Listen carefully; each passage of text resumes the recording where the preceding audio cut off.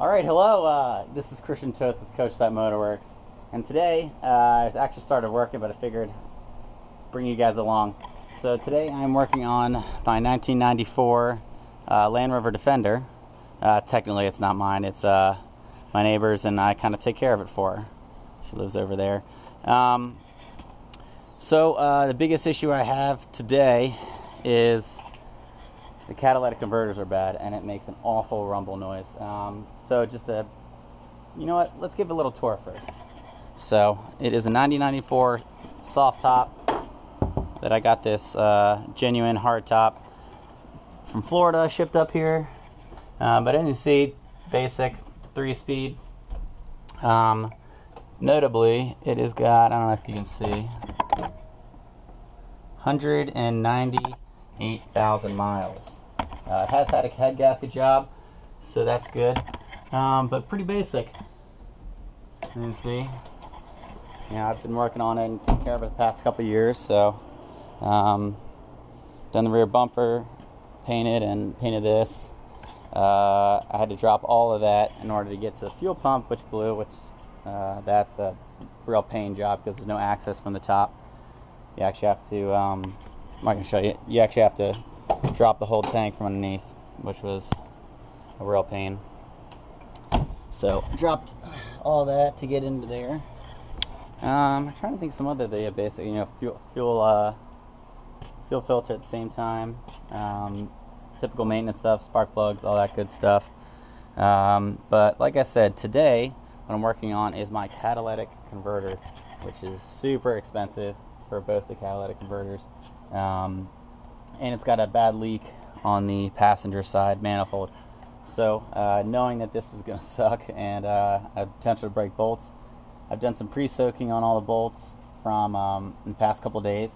So I started it tonight, uh, disassembling. So I have my 14 millimeter bolts that go up on the top, and if you're working on an original engine, it's going to be, I think this one was like a half um, for the heat shield and then uh, under that was like a 7 16ths um, below that. And I can go shed show you the bolts.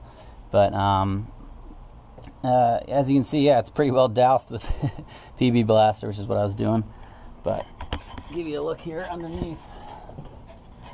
So yeah this is the original frame which is pretty nice for Baltimore for Northeast I guess mid-Atlantic. But uh, I don't know if you can see up there. Some of the bolts I've already gotten. I've got two of the three on that side, none on that side. Um, basically, my tip is uh, first you want to start start and try to tighten the bolt, and you can get hopefully you can get a little bit movement, and then you can back it out. Um, those ones, or this one over here, I started backing out. I got maybe three rotations, then I heard it, you know, squeak, squeak, squeak. Stop. At that point, you're gonna snap the bolt. So you tighten it. So I tightened it back up and uh, put some more PB Blaster on it. That one, uh, I gave it some good tugs, and it wasn't really wasn't really budging yet. And I really don't want to snap those in the manifold. So uh, more soaking should help a lot. Um, yes, that's what I'm working on here. As you can see, it's new plugs and wires. Uh, I got a new distributor cap. I have a pointless ignition, uh, Pertronix, as well as a flamethrower coil, um, there's my new distributor and stuff. Uh, trying to think some of the other cooling, the uh, the ignition system was the biggest thing I've had to do. I've done the thermostat a couple years ago, but like I said, a lot of it's been cosmetic. Um, but that's you know odds and ends stuff here and there. But uh, well, let this soak. I figured I'd give you guys an update on what I'm working on during uh, whatever day 85 of quarantine. But so and check in with me tomorrow, and we'll get back on this manifold. Bye. All right, well, hello guys. Here we are on uh, day two of removing the exhaust manifold on the passenger side and undoing the three bolts on either side, um, holding the down tubes of the catalytic converter. So uh, something I wanted to get. Oh, you know what? While I'm here, uh, if you don't mind, if this is stuff is helpful for you guys or you enjoy watching it, if you could hit that like button at the bottom of the screen here, as well as uh, leave a comment if you think I should do something different, or um, if it's help you, helpful for you, or whatever you want. Um, I do check them and try to respond to any questions or comments that you guys have. So, uh, something I want to show you is try to make this stuff easier for you guys. Uh, to show you what kind of bolts we're working with here. So, um, this is a bracket for the heat shield over here. Um, this is the bottommost bolt uh, of the exhaust manifold towards the firewall side. So, and this has a smaller nut goes in here. So this is actually, I believe, uh, is standard.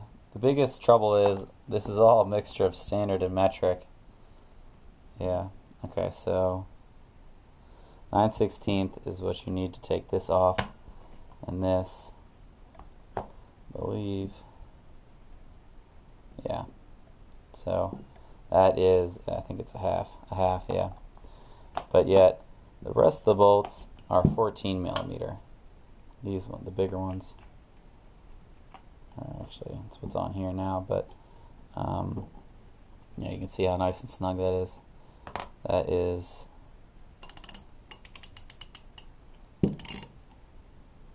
14 millimeter yeah. All right so uh, just good let's go take a look under the truck and see and show you what I've been working on. It's kind of hard to see down there so that's kind of why I want to do it before I get started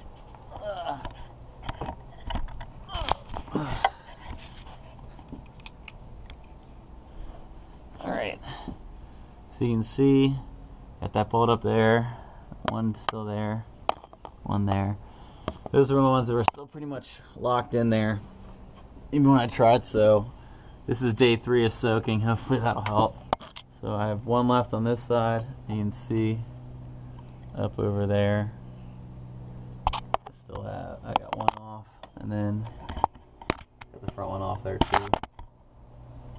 So I got oh one left on this side and the three on this side. So I'm gonna go ahead and get started. Uh, go ahead and get started and I'll bring you back hopefully with no broken bolts. Remember you want to try to tighten it first and then you back them off and you kind of feel about uh, feel how easy they are to come off. If you're having to really crank on it they're not ready yet. I'd work them back and forth put some more PB blaster and let it soak another day um, or if you're try if you're undoing it and you hear like a it's like a big squeak like a loud squeaking noise and you're having a lot of pressure means you're probably pretty close to snapping the bolt so let me get to it and I'll bring you back. Alright, well today is a new day and I'm coming back. I think we're on day four of soaking some of these bolts uh, for the exhaust manifold. So let's get started here. Got uh, three bolts left underneath, one on the passenger side and two on the driver's side. Three on the driver's side. I haven't done that yet driver's side manifold and the passenger one is loose. So let's go ahead and get started.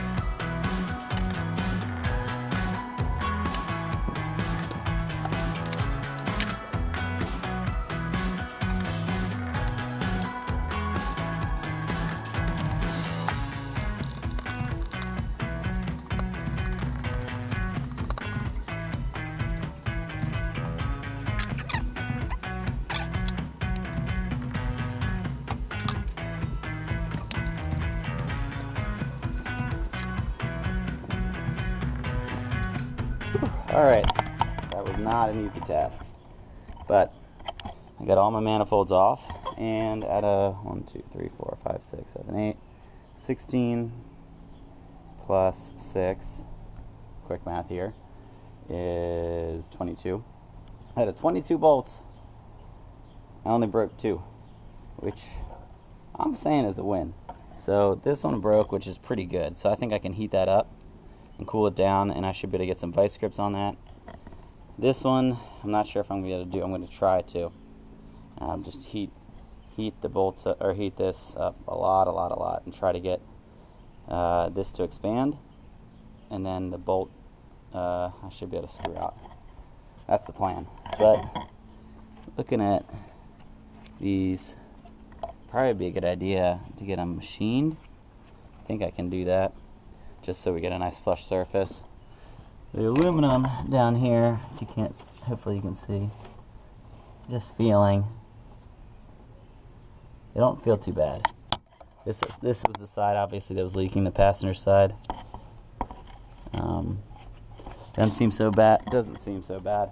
Um, you can look at some of these gaskets. You can see right here. You can see that it's yellow. It turned yellow here. But definitely, that's where the exhaust was leaking through. So some there. Um, got some black here. That's probably where it was leaking. So these are actually supposed to be double-sided. That's why it looks like there's so many. Um, this is my exhaust manifold, or my gasket for to my exhaust. But yeah, so we got them off. Which is a big win. Um, yeah, a little bit of pitting in between on that one. And a little bit pitting there as well. Clearly it's a common problem. You can see these are doused because I've been spraying them before I went to work and when I got home for four days. So it wasn't easy, but if you're patient, you get them off. Um, all right, so now what I'm going to do is, uh, well, let me let me show you something. So my original plan was just to um, you know replace the gaskets on the passenger side um, and replace the catalytic converter Y pipe. But I took the Y pipe as I was trying to take the bolts off the Y pipe. I snapped the bolt on the pass on the driver's side manifold down pipe. So I needed then to take that off. So of course you start a project and you think it's just going to be somewhat simple or you're just going to try to tackle what you need to do end up doing it all which is fine um, if uh, the, the driver's side gasket for the exhaust manifold hadn't leaked yet probably was going too soon so it's just as well I get it done now and I'll get both of those uh, decked in a machine shop the exhaust manifold surface that goes to the engine side um, so reduce our leakage in the future. Again, this car has 198,000 miles on it, so I got a lot. Um, so looking at the Y pipe, um, it's probably original. This is definitely an aftermarket. Um, you can see there's a leak here. There was a leak here a couple years ago, um, and I just I needed it for emissions. So what I, I just had I just went to an exhaust shop like a Midas or whatever. Just had them cut that union out and just weld in a piece of pipe because I knew this uh, muffler was on its way out. Just trying to let it live for another year or so. Um, but me show you something what I saw when I was under here. Just doing some pre-treatment on PB Blaster on some of these bolts. Yeah, not supposed to be a hole like that. So that's definitely where most of my noise was coming from. So, got a little surprise for you guys on what I'm putting back here. But obviously it's a new, it's a fully new exhaust system um, that I got to put in. So right now, because that is welded between the muffler and the catalytic converter, is I got to cut this midsection here, and that will allow me to drop this down. I'm also to cut the wires that go to the O2 sensors you can see the other ones over there. Um, because there's not a chance I'm to get them out. And they're probably bad. So, um, there's my downpipe gasket. Um, yeah, so they're, they're probably bad. And, uh, you know, while I'm in here, I'm going to go ahead and put new two new O2 sensors. My Y pipe actually, before I put them on there, so I don't have to deal with, you know, that the, the twisting wire and wire harness. So, let's go cut those O2 sensor wires and get to cutting on this exhaust.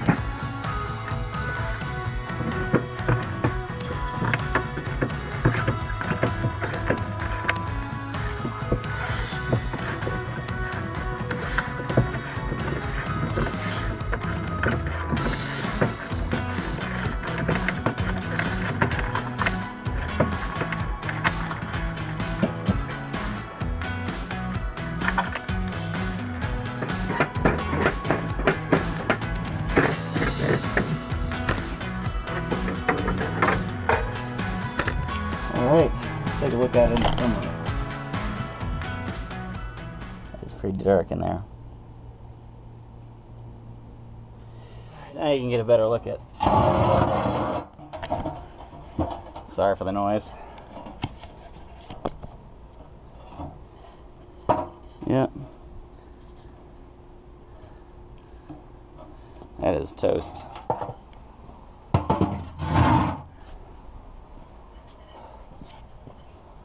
Sure my neighbors love me.